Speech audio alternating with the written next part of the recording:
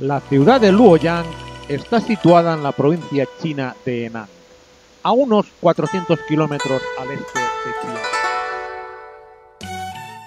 La ciudad de Luoyang carece de monumentos de interés, pero resulta la base ideal perfecta para visitar sus alrededores.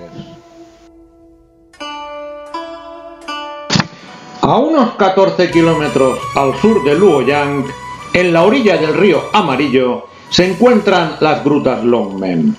Sobre un acantilado de poco más de un kilómetro fueron esculpidos santuarios rupestres, entre los que se han contado 1.352 grutas, 750 hornacinas y 39 pequeñas pagodas.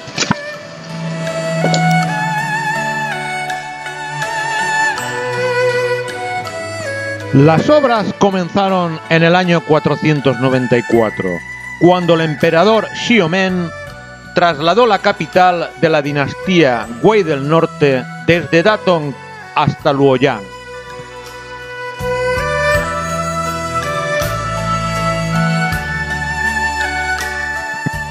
Estamos viendo la cueva más famosa de todo el complejo.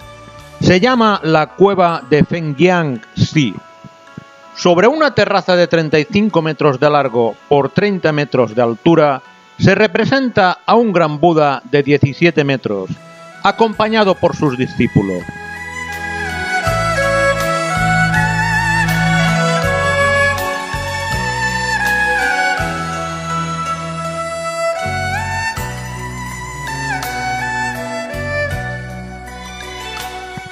La otra atracción turística importante en las cercanías de Luoyang está situada a unos 13 kilómetros al este. Se trata del Templo del Caballo Blanco.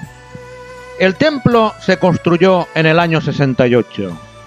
Dice la tradición que este templo se construyó para introducir por primera vez las escrituras budistas en China.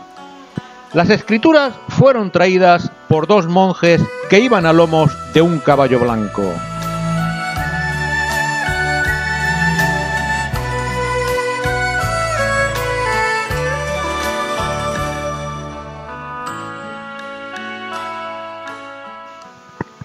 Justo al lado del templo del caballo blanco hay un gran parque donde están construidas distintas pagodas en los diferentes estilos arquitectónicos de Asia.